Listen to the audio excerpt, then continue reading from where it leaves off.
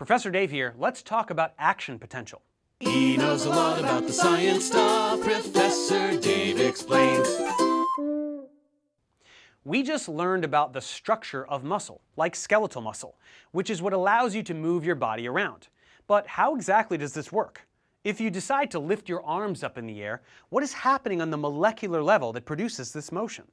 It's not magic, it's just a staggering amount of chemistry. So let's dive back down into those muscle fibers and get a closer look. As we recall, any skeletal muscle is made of fascicles, and each fascicle is made of muscle fibers, which are the individual multinucleated muscle cells. From there, we can zoom in farther on one of these myofibrils, which are in turn comprised of myofilaments arranged into sarcomeres. And this is the contractile unit, the one that lets muscles do what they do. Now let's get a closer look at these structures, because this is where all the action happens. Looking at a sarcomere, we can label a few regions. We can see these darker A bands and the lighter I bands, which are aligned and responsible for the striated appearance of skeletal muscle. Within each A band, we can find a lighter region called the H zone, and this H zone is split down the middle by something called the M line, made of a protein called myomesin. The I bands are also split down the middle by a region called the Z disc. We can identify an individual sarcomere as being a section from one Z disc to the next, and this is the functional unit of skeletal muscle. If we zoom in even more, we can see the myofilaments that make up these regions. As we discussed previously, the thick filaments contain myosin, and these extend across the A band, connected at the M line. The thin filaments contain actin, extending across the I band and into the A band. There are also elastic filaments made of titin, spanning from the Z discs to the thick filament and then continuing on, acting as the core of the thick filament. Now let's zoom in even further on these two main types of filaments.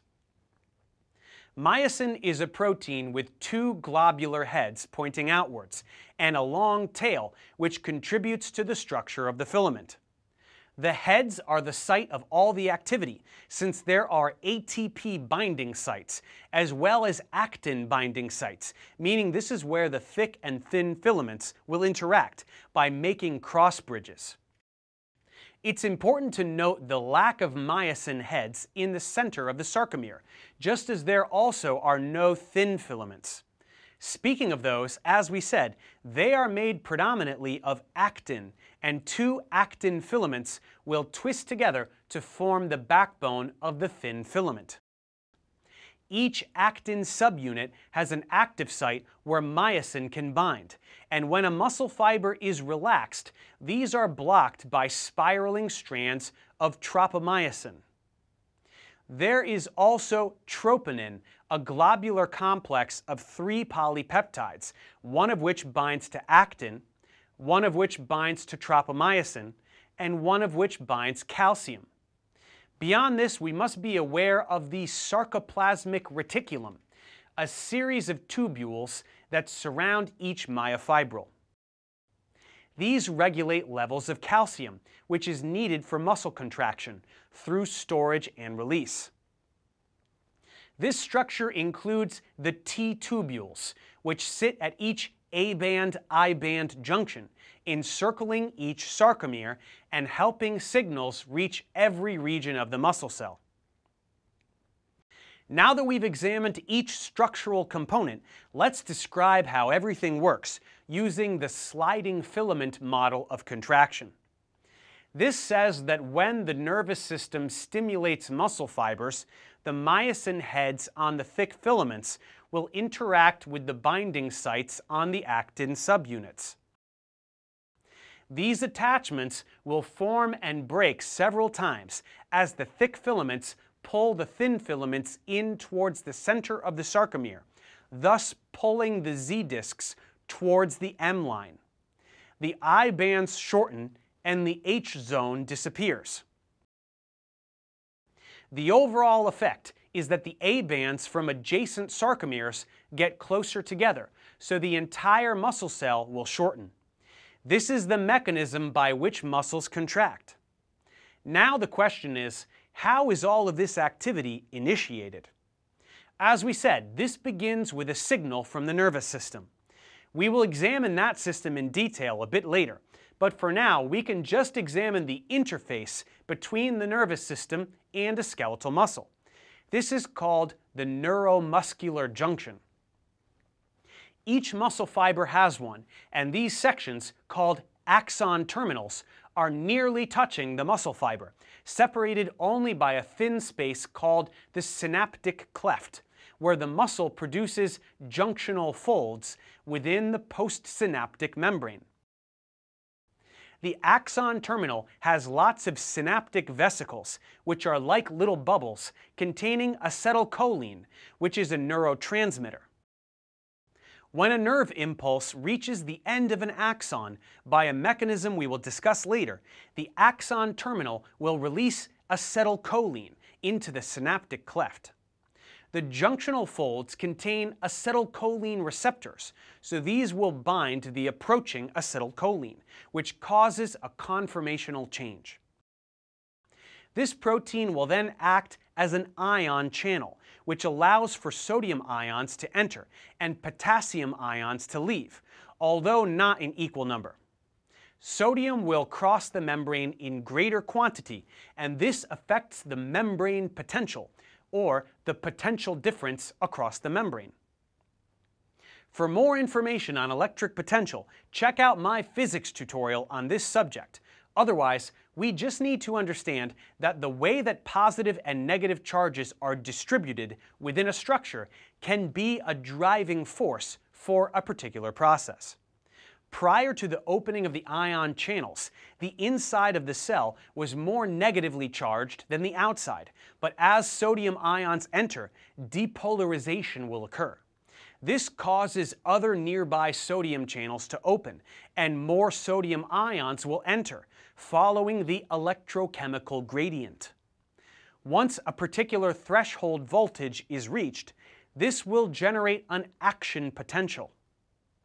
Sodium can now diffuse into the cell anywhere along the membrane.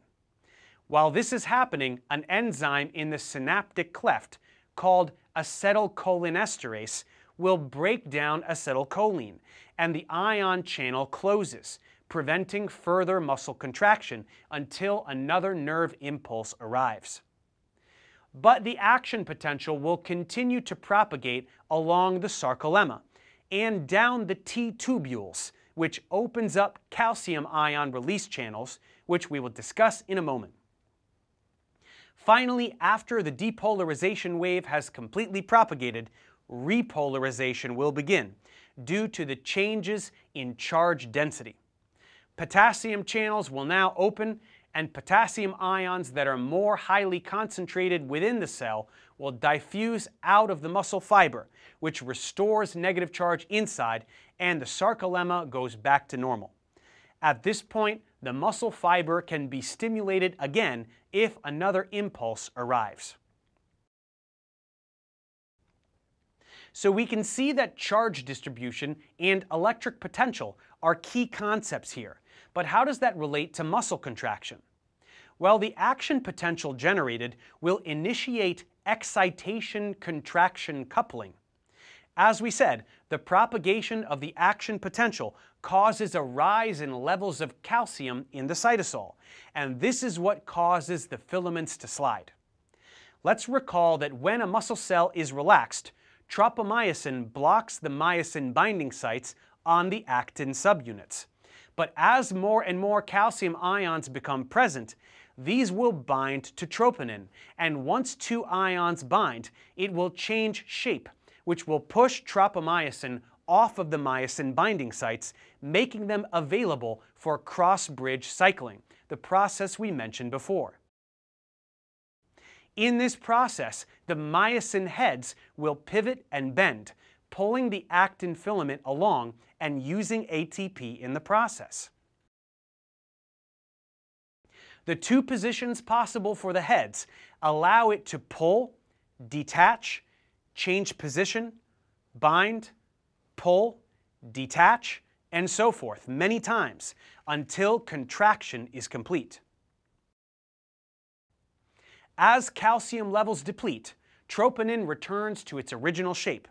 Tropomyosin blocks actin's binding sites once more, and the muscle fiber relaxes. There is a lot more to discuss regarding muscle contraction. We could talk about the time frames associated with each step in muscle contraction. We could talk about graded muscle responses, or the differences in contraction for smooth muscle versus skeletal.